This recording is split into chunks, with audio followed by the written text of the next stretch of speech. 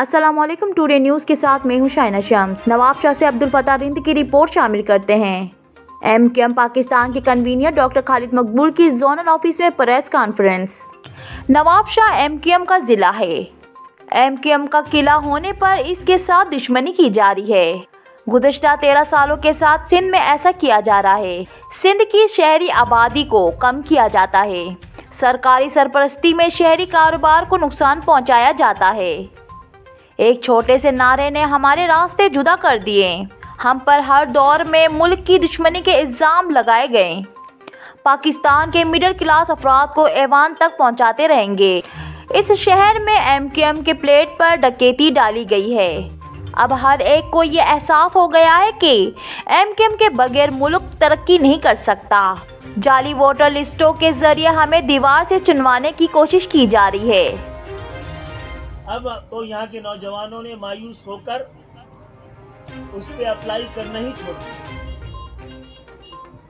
ये शहर का जो हाल कर दिया है इस तेरह साल में, निकासी आप से लेकर पीने के पानी तक, यहाँ के कारोबार तक, हर एक को मुकम्मल तौर पर नाकाम और फेल कर दिया गया।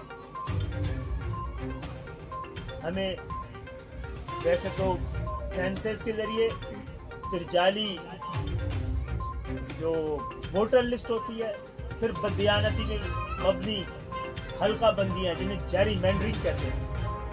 उसके ज़रिए ज़रिए दीवार से तो क्या दीवार से लगाना तो क्या दीवार में चुनवाने की कोशिश की जा रही है। लेकिन इन ताला हमें उम्मीद है कि जिस दिन भी पाकिस्तान में शफाफ इलेक्शन हुए नवाब शाह हक परस्तों को ही चुनेगा। अप्रोचमेंट के नाम पर सिर्फ़ महाजनों को तंग किया जा रहा है, उनके घरों को, दुकानों को मसमार करने की किया जा रहा है और करने की कोशिश की जा रही है। ये मुतासबाना रवैया किसी के लिए भी फ़ायदेमंद नहीं है, कारगर नहीं हो पाएगा। और ऐसे हालात ना हो जाए कि जिसमें नुकसान फिर सबका सर, छोटे दुकानदार हैं, छोटे दुकानदार हैं, जैसे कि ज़्यादा ताल्लुक है उर्दू स्पीकिंग का नवाबशाह ज़िले के लिहाज से। तो नवाबशाह ज़िले के अंदर और गजब,